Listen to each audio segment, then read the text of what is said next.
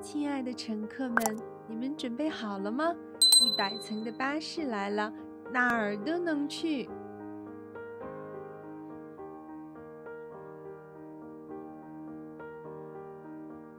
那是一个星期二的早晨，和平时没有什么不同。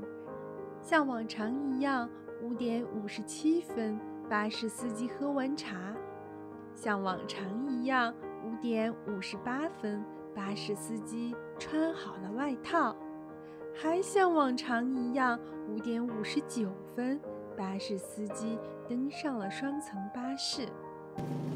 六点钟整，他准时发动了引擎，驾车驶离了公共汽车总站。每天如此，系着宽大的红色领带的先生在环岛站上车；每天如此，推着婴儿车的女士在图书馆站上车；还是每天如此，叽叽喳喳的孩子们在幸运草站上车。唉巴士司机轻轻地叹了一口气，每天都重复同样的生活，他有些厌倦了。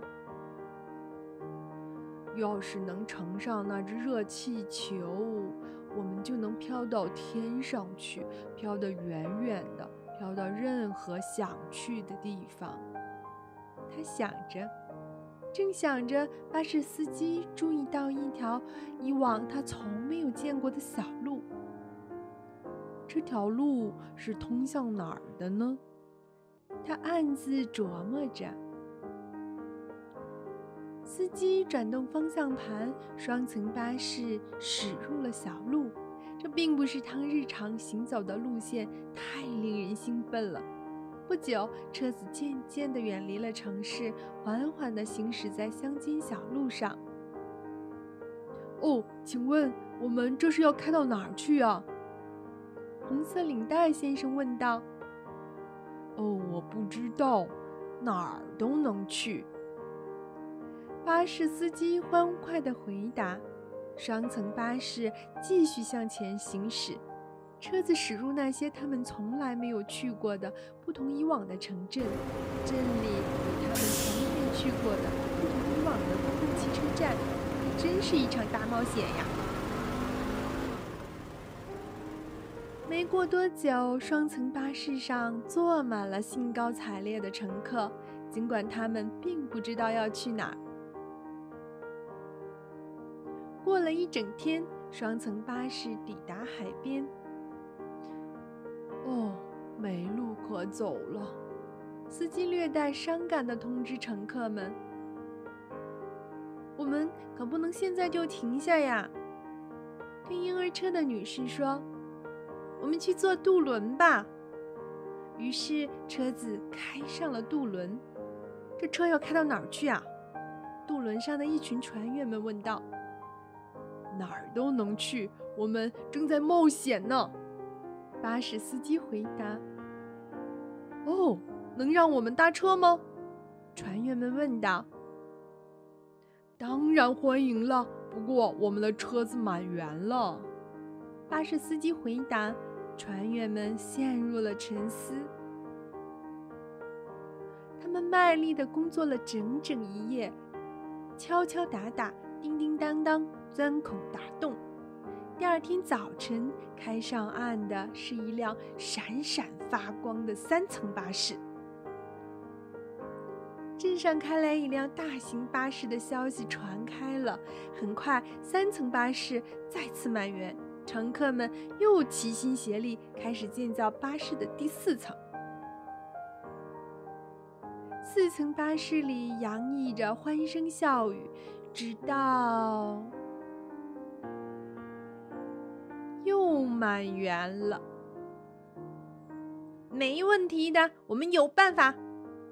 学生们说，他们想出一个穿过并跨越大桥的妙招。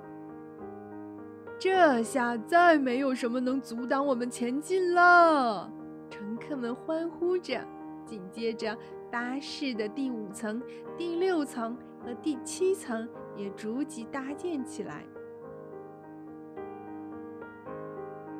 两个月以后，巴士穿越一个气候异常炎热的国家，因此第三十层车厢被建成了一座游泳池，池水还挺深。六个月过去了，巴士的高度超过了最高的摩天大楼。乘客们出发一年之后，这辆巴士已经高达一百层了。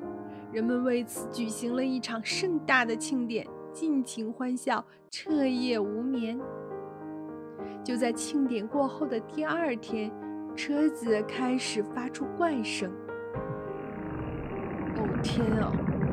巴士司机说：“又过了一天，发动机开始冒起烟来。”哦天呀！巴士司机大喊：“又再过了一天，发动机盖子直接炸开了！”哦天哪！天哪！天！呐！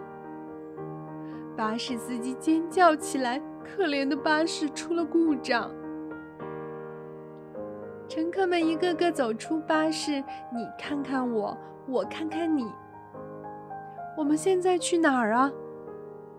他们问司机。哪儿都不能去了。司机略带伤感的回答。忽然，有位听觉特别灵敏的乘客问。什么声音？